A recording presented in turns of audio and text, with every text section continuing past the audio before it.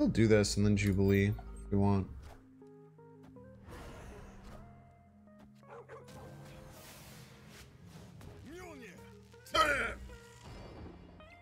Very nice.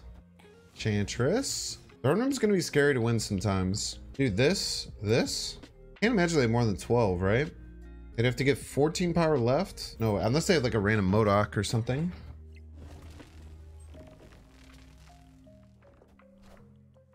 APOC. Oh!